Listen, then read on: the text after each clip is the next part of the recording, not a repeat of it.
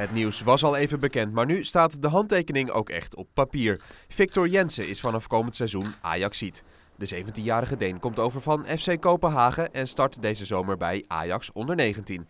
Ajax is a great club with a, a lot of history behind them, uh, and especially for Danish players. So uh, that was one of the reasons why I, I chose uh, Ajax.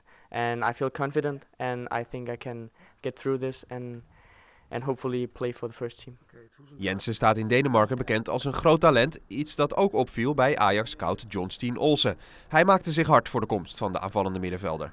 En Jensen is daarmee de volgende in een lange lijst van Deense Ajaxiden. They've done well. Uh, there've been a, a, lot of Danish players, uh, especially Eriksen and now Kasper Dolberg and Lasse Schöne. And they've all uh, done well, so uh, I think I can do it like them, hopefully. Can we compare you to one of those former Danish players at Ajax? I think Christian Eriksen. Uh, I play the same position as him, and I I'm good with both my feet. Um, so uh, I think uh, it's him. Because can you describe yourself as a player? Yeah, uh, I shoot good with uh, both my feet, um, and I'm fast, and uh, I have good uh, dribbling abilities, um, and I'm a very aggressive player uh, and good uh, under pressure.